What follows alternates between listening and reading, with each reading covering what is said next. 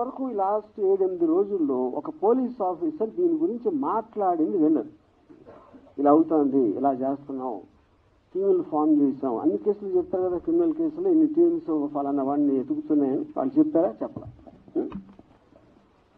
Normal ఆస్పెక్ట్లో డెన్లోకి లేకపోతే నాకు క్లోజ్ ఫ్రెండ్స్ నా పార్ట్నరు నా ఫ్రెండ్ నా ఫ్యామిలీ నా- నా సిస్టరు వాళ్ళ దగ్గరికి వెళ్ళాలి. అక్కడ దొరకపోతేనే నెక్స్ట్ వైడింగ్ చేస్తారు ఇవన్నీ వదిలేసి వైడింగ్ చేయడం అంటే అది ఏమన్నా అర్థం ఉందా? అది ఎవరు అర్థం పోలీసులు కంపెనీ వాళ్ళు చెప్పలేదు. మేము చేస్తున్నాం అని. స్క్రీన్ ప్లే మొత్తం స్క్రీన్ ప్లే దర్శకత్వం పాటలు మాటలు బ్యాక్గ్రౌండ్ మ్యూజిక్ అంతా చేసింది మీడియా. అప్పుడు దీంట్లో లార్జర్ పాయింట్ ఏంటంటే నాకు నా కేసు ఒకసారి పక్కన పెడితే నేను ఒక చిన్న ఎగ్జాంపుల్ ఇస్తాను.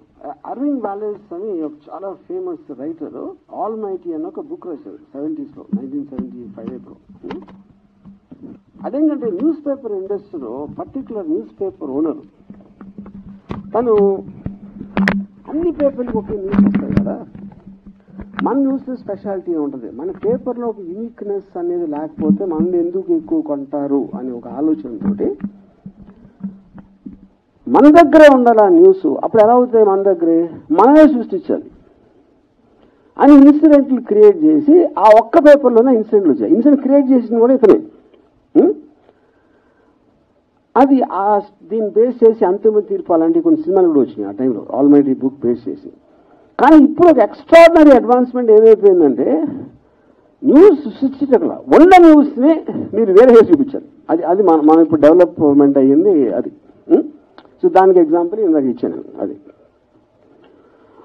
ఇప్పుడు కమింగ్ టు ద కేస్ ఇప్పుడు ఇది నా ఒక్కడిదే కాకుండా ఐ ఫీల్ ఇప్పుడు లా అనేది ఎప్పుడో సంవత్సరాల క్రితం ఎప్పుడు చేస్తారు. లాకి టెక్నాలజికల్ అడ్వాన్స్మెంట్కి సోషల్ అడ్వాన్స్మెంట్కి ఆల్వేస్ ఒక చిన్న గ్యాప్ ఉంటుంది. ఆ గ్యాప్ ఎందుకు ఉంటుందంటే మీరు సృష్టించినప్పుడు ఉన్న కండిషన్స్ టెక్నాలజీ వేరవ్వచ్చు. ఇప్పుడు అది మారిపోయింది కాబట్టి దాన్ని ఎలా కవర్ చేస్తుందని ఒక వేగ్నెస్ వచ్చేస్తుంది లోలో. సైబర్ దాంట్లో అది ప్రాబ్లం సోషల్ మీడియా ఎప్పుడు వచ్చింది లేకపోతే లైవ్ స్ట్రీమింగ్ ఇలాంటివి వచ్చినప్పుడు ఏ విధంగా దాన్ని ఎనాక్ట్ చేయాలనేది చాలా కష్టమైపోతుంది. అది చెప్తాం. అప్పుడు ఎవరి దృష్టిలో ఇప్పుడు టూ మచ్ చేయకూడదు అని అంటాం వింటాం మనం. టూ మచ్ అంటే ఏంటి అసలు? ఎవరి అది ఏమైనా డిఫినేషన్ ఉంటుందా? డిక్షనరీలో దొరకదు. ఎవరి దృష్టిలో టూ మచ్ ఆ టూ మచ్ని ఎలా మెజర్ చేస్తారు? Too much too much too too too much ఇవన్నిటికీ ఆ- డిఫరెన్స్ ఉంటుంది కదా ఇప్పుడు. ఎందుకంటే మనుషులు అన్నాక వేరే వేరే సెన్సిబిలిటీస్ ఉంటాయి. వేరే వేరే వేరే ఆలోచన దృక్పథం ఉంటుంది. వేరే వేరే ఐక్యూ లెవెల్స్ ఉంటాయి. ఎడ్యుకేషన్ లెవెల్ వేరే ఉంటుంది అప్పుడు అందరికీ కామన్ చేసి ఇది టూ మచ్ అది త్రీ మచ్ అని ఎలా చెప్తారు?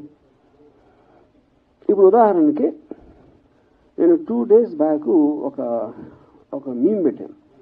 డొనాల్డ్ ట్రంప్ కమలా హ్యారిస్కి క్షౌరం చేస్తున్నాడు గుండు చేస్తున్నాడు అది నాకేమనిపించింది? నాకు వచ్చినప్పుడు ఆర్టిఫిషియల్ ఇంటెలిజెన్స్ జనరేటర్ ఇది.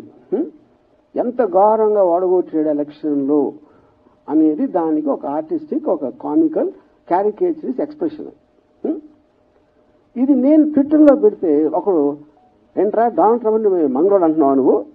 అంటాడు ఒకడు. ఇంకోడేమో అంటే స్త్రీ జాతి అంటే అంత నీచమైపోయిందా? స్త్రీకి గుండు కొట్టిస్తున్నావా? అంటాడు ఒకడు. అంటే దీన్ని ఎందుకు ఇస్తున్నానంటే ఎగ్జాంపుల్ అన్ని రకాలుగా మీరు ఒకే దాన్ని అన్ని దుక్కుదాలతో చూడొచ్చు. అప్పుడు చేసినోడు ఫార్వర్డ్ చేసినోడు రిసీవ్ చేసుకున్నోడు ఎవడి ఎవడికి ఎలా ఎఫెక్ట్ అవుతుందని ఎలా నిర్ణయిస్తారు? అప్పుడేంటి కార్టూన్ మీరు నవ్వటానికి నవ్వించడానికి పెట్టారా? ఏదో అంటే ఇప్పుడు కొన్ని ఇప్పుడు సోషల్ మీడియాకి మెయిన్ స్ట్రీమ్ మీడియాకి ఉన్న డిఫరెన్స్ ఏంటి? సోషల్ మీడియాలో ఎవడెవడో చేస్తా ఉంటాడు అప్పటికప్పుడు మూడు వచ్చింది. ఆడు తాగేసి ఉండొచ్చు. లేకపోతే ఆడు ఆ టైంలో ఆడికి అర్థమయ్యి అర్థం అవ్వకుండా అవ్వచ్చు. ఇంకేం పని లేదు కాబట్టి ఏదో చేయటానికి పెట్టాడు. ఇలాంటి రకరకాలు ఉన్నాయి. It is not possible to దాన్ని రెగ్యులేట్ చేయటం అనేది ఎందుకు ఎందుకు పాసిబుల్ కాదంటే వేలల్లో ఉంటాయి. కానీ డేంజరస్ ఏంటంటే సోషల్ మీడియా కన్నా ఎక్కువ మెయిన్ స్ట్రీమ్ మీడియా ఎందుకంటే మెయిన్ స్ట్రీమ్ మీడియాకి ఒక పేరు ఉంటుంది. ఒక రిజిస్టర్డ్ కంపెనీ ఉంటుంది. అప్పుడేంటి ఇలా మనిషి అంతా ఒక చిన్న బిల్డప్ ఇచ్చి అలాగ ఒక ఆఫీసు స్టాఫ్ యూనిట్ అందరూ ఉంటారు కాబట్టి ఎంతో కొంత సీరియస్గా తీసుకోవాలి అనే ఒక సైకలాజికల్ ఫీలింగ్ ఉంటుంది. సోషల్ మీడియాలో వచ్చిన పోస్ట్కి మెయిన్ స్ట్రీమ్లోకి వచ్చిన న్యూస్కి. కానీ ఇప్పుడు ఏమవుతుందంటే ఇప్పుడు మెయిన్ స్ట్రీమ్ మీడియాకి లెక్చర్ ఇచ్చే ఉద్దేశం నాకు కాదు. But I'm just trying to point out that point. అప్పుడు నేను ఒక నాకు లాలో ఉన్న ప్రొవిజన్స్ తోటి నేను ఒక రిప్లై పెట్టాను. ఇందాక నేను చెప్పినట్టు. నాకు దానికి రిప్లై రాల. ఫర్ వాట్ ఎవర్ రీజన్స్ ఆ రీజన్స్ నాకు తెలియదు రిప్లై రావాలి అప్పుడు నన్ను కోట్ చేస్తా నా ఎదురు వస్తే తిత్తి చేస్తా నాతో పెట్టుకుంటే నన్ను టచ్ చేసి చూడు అని నా మొహాన్ని పెట్టి నన్ను కోట్ చేయడం చేస్తున్నారు. ఇది మెయిన్ స్ట్రీమ్ మీడియా అని చెప్పేది. అంటే ఇప్పుడు దాని నుంచి ఏంటి? నన్ను కోట్ చేస్తున్నారు. అక్కడ లాలో ఒకటి ఇదేంటంటే మీరు పెట్టిన దానికి ఏ ఉద్దేశంతో పెట్టారు అనేది ఒక చాలా కీలకమైన పాయింట్ అది. Intention of posting it and the motive behind it ఇప్పుడు ఫర్ ఎగ్జాంపుల్ ఒక అమెరికాలో CNN and Fox News yeah CNN and Fox News ఇద్దరికి పడదు. They very very opposite to each other అక్కడ సిఎన్ఎన్ హోస్ట్ ఫాక్స్ హోస్ట్ నలుగురు కూర్చుని మాట్లాడుతున్నారు అని ఒక ఏ జనరేటెడ్ వీడియో పెట్టాడు.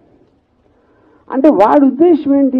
ఏకి ఎంత పవర్ ఉందో చెప్తాను. ఇలాంటిది కూడా చే- నిజంగా జరిగిందని చేసి చూపెట్టగలుగుతుంది అనేది పాయింట్ అడిది కానీ మీరు అది చెప్పకుండా వీళ్ళందరూ కలిసిపోయింది సార్ వాళ్ళందరూ ఒకటే.